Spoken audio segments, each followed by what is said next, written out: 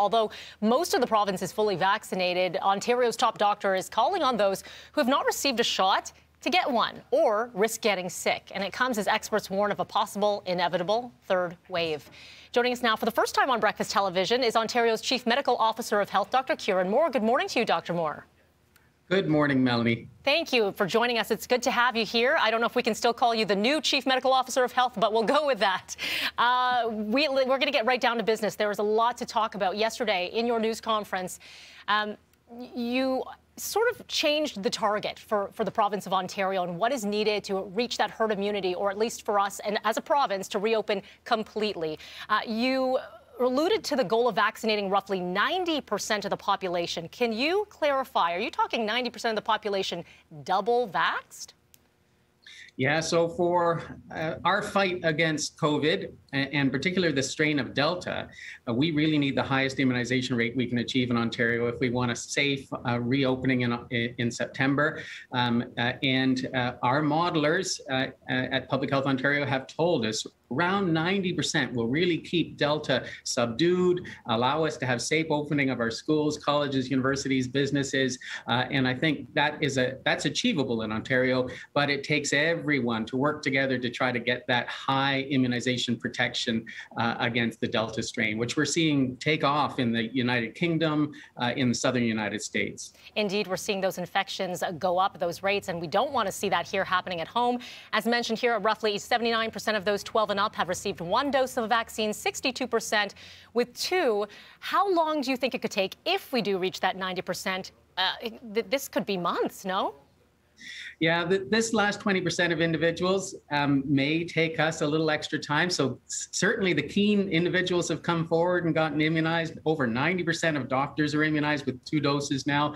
Uh, and, and uh, the medical professions are leading the way uh, on having some of the highest immunization rates of, of all of the professions. That's a keen endorsement of immunization in Ontario. I'm so happy for the Ontario Medical Association of Physicians to have achieved that rate. We need all healthcare workers coming forward getting immunized and we need very high coverage uh, in our community. So anyone that's hesitant, that, that, thought they'd put it off, now is the time. We've got around six weeks uh, before school starts. Colleges, universities, and a lot of businesses will be bringing their staff back. And in those six weeks, uh, you need to get your first dose, then wait 28 days to get your second dose, uh, and then 14 days for your immunity to build. And as a result, really this week is key uh, and the next subsequent weeks to uh, allow individuals to come to our clinics.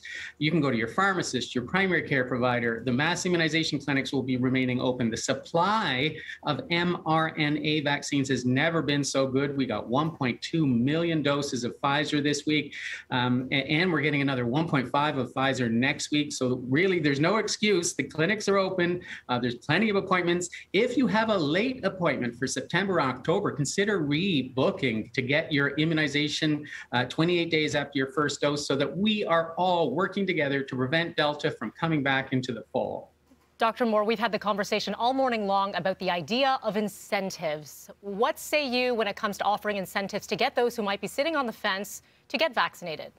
Well, it's one tool in the toolbox to try to get people to, to come out. And for some, we may need to. Uh, and I know in, in Kingston, where I had been working, we've been giving taxi chits to allow people to come in and get, and get immunized if they're having any accessibility issues. So, in, in a way, that's an incentive to come in and get immunized.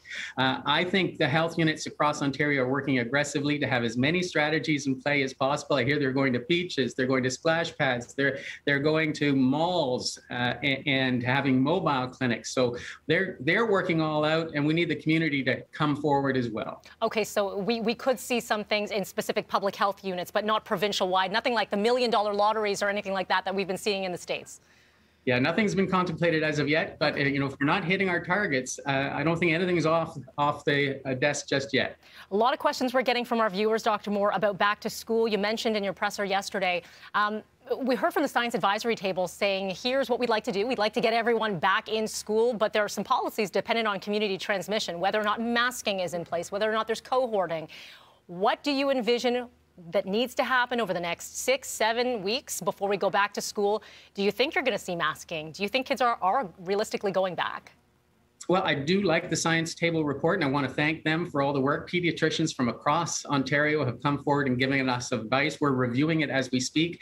Uh, it is a risk-based approach, so if there's low risk of transmission, they're recommending no masking, uh, and if it's a moderate risk or severe risk, they're recommending uh, cohorting uh, and masking and distancing. So we'll follow that risk-based approach, and we'll review it with the Ministry of Education. Uh, I just uh, I think a lot of the advice in it is very very helpful and is based in best evidence. So we'll review that. Uh, we still have seven weeks, and Ontarians have been great. We've been able to keep our rate of infection low in Ontario at present, which is brilliant. Um, we need to have people continue to come forward, get tested if they have signs or symptoms of COVID. We need public health to continue to do the great work in case and contact management, and that'll give us the safest opening in September. I, I would love uh, for all of our schools to uh, open safely, and uh, obviously, all public health want the schools to stay open, uh, first to open, last to close. Dr. Moore, we have run out of time, but in a one word, a yay or a nay, is, is a regional approach possible for reopening when it comes to schools or, or, or public health units in the coming weeks?